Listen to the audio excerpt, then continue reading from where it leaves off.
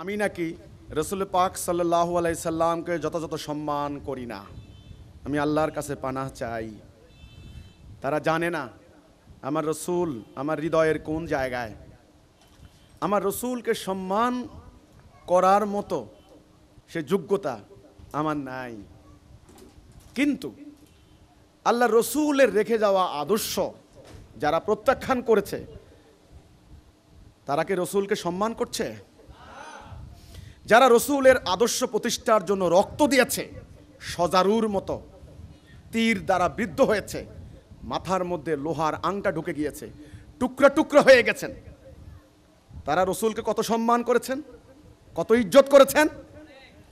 আর আজ যারা, তোমরা যারা রসুল্লাহর উপরে অর্পিত দায়িত্ব ত্যাগ করে, সেই কেতাব প্রত্যাখ্যান করে, আজকে সমগ্র উম্মাকে দাজ্জালের দাসত্ব বরণ করতে বাধ্য করেছ তোমরা রসুলকে সম্মান করছ?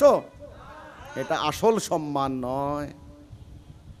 আপনার দুইজন কর্মচারী আপনার বাড়ির মালিক। দুইজন কর্মচারী, একজন কর্মচারী খুব নামাজি কালামি। কোনো দোকানে বাকিটাকি খায় না। আপনাকে দেখলে খুব সালাম দেয়, খুব শ্রদ্ধা করে। সালাম আলাইকুম হুজুর একথা বলে খুব রাস্তা ছেড়ে দেয়। আপনি ভাবছেন ও খুব আপনাকে সম্মান করে। আরেকজন কর্মচারী, সে ওই সালাম কালাম ঠিক মতো দিতে পারে না। তার চরিত্রের মধ্যেও কিছু সমস্যা আছে। ঠিক আছে। নিজে নিজে ভাবে আমি তো গুণাগার মানুষ। ঠিক আছে, পড়ে আছে। তো একদিন ডাকাত ঢুকলো বাড়ির ভিতরে। ডাকাতের উদ্দেশ্য হচ্ছে বাড়ির মালিককে মারবে, স্বর্ণ গয়না লুটপাট করে নিয়ে যাবে, বাড়ি ধ্বংস করে দেবে। এই অবস্থা ডাকাত দেখে ওই যে সম্মান করতো, ওই লোকটা মুখে মুখে সম্মান করতো আর কি। ওই লোকটা দেখে ভয়ে পালিয়ে দরজা দিয়ে, দরজা আটকিয়ে সে খাটের নিচে লুকিয়েছে। আর ওই যে লোকটা ঠিকমতো সালাম টালাম দিত না। সে দাঁড়িয়েছে কোমরে গামছা বেঁধে। যে কি? আমি বেঁচে থাকতে আমার মালিকের বাসায় ঢুকতে পারবি না। আমি দরকার হলে মরবো এখানে, তারপরে তোরা ঢুকবি। সারা রাত লড়াই করল, আহত হলো, ক্ষতবিক্ষত হলো। ডাকায় তার ঢুকতে পারল না। সকালবেলায় মালিক বের হওয়ার পরে কাকে লাত্তি মেরে বের করে দিবেন আর কাকে পুরস্কৃত করবেন? বলেন তো আপনারা। যে মালিকের জন্য জীবন দিয়েছে নাকি? আপনারা পাড়া কাঁপিয়ে, মসজিদ কাঁপিয়ে, মহল্লা কাঁপিয়ে, খানকা কাঁপিয়ে আপনারা নবীর শানে দুধ করছেন, জিকির করছেন। নবীকে সম্মান দেখাচ্ছেন, তাই না? নবীর নাম বলতে গিয়ে কেঁদে কেটে বুক ভাসিয়ে ফেলছেন, দাড়ি ভাসিয়ে ফেলছেন। চিৎকার করে করে অজ্ঞান হয়ে যাচ্ছেন। রসুলের সাহাবিরা এগুলি করেন নাই। রসুলের সাহাবিদের থেকে বেশি মহব্বত হয়েছে নাকি? রসুলের সাহাবিদের থেকে বেশি আশেকে রসুল হয়েছেন নাকি? ওই আশেকে রসুল কারা দেখেন? রসুলের সাহাবিরা টুকরা টুকরা হয়ে গিয়েছেন। কলিজার টুকরা সন্তানকে কোরবান দিয়েছেন, ভাইকে কোরবান দিয়েছেন, জায়গা জমি, বাড়ি, ঘর সব ত্যাগ করেছেন। শহীদ হয়ে গিয়েছেন।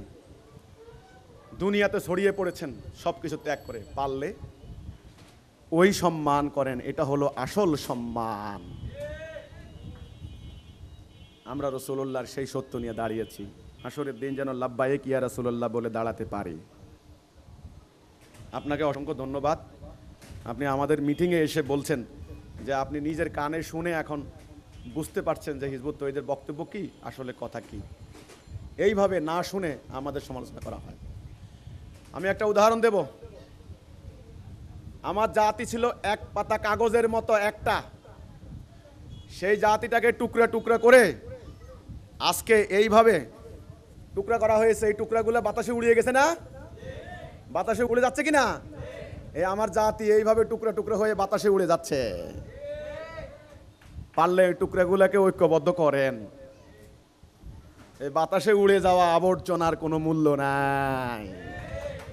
রসুল বলেছিলেন সময় আসবে। এই উম্মা সবার হাতে মার খাবে। সাহাবিরা বললেন যে ইয়ে রসুল আল্লাহ সবাই আমাদেরকে মারবে। কারণটা কি? আমরা কি সংখ্যায় এত কমে যাব নাকি? বলছে, না, তোমরা সংখ্যায় হবে অগণিত। হলে কি হবে? মৃত্যু ভয়, ভীতু কাপুরুষ, দুনিয়ার প্রতি লোভ, আবর্জনা। কার কথাই কথা? আসলের কথা। আল্লাহ কোরআনে বলছেন, হাবা আম ধুলোবালির মতো আবর্জনা উড়ে যাবে সব, উড়ে যাচ্ছে। সমুদ্রে ভেসে যাচ্ছে, উদ্বাস্তু শিবিরে বসবাস করছে, ত্রাণ ভিক্ষা করছে, ধর্ষিতা হচ্ছে, বোমার আঘাতে মরে যাচ্ছে, কথা নাই, বার্তা নাই, মাথা উঁচু করতে পারছে না, নিজেরা কামড়া কামড়ি করে মারা যাচ্ছে। এই জনগোষ্ঠীকে পারেন ঐক্যবদ্ধ করেন, পারেন, ইস্পাত করেন ঐক্যবদ্ধ করেন, দেখি কত হিম্মত আছে। ওই কাজে নামেন, আমি নেমেছি সেই কাজে।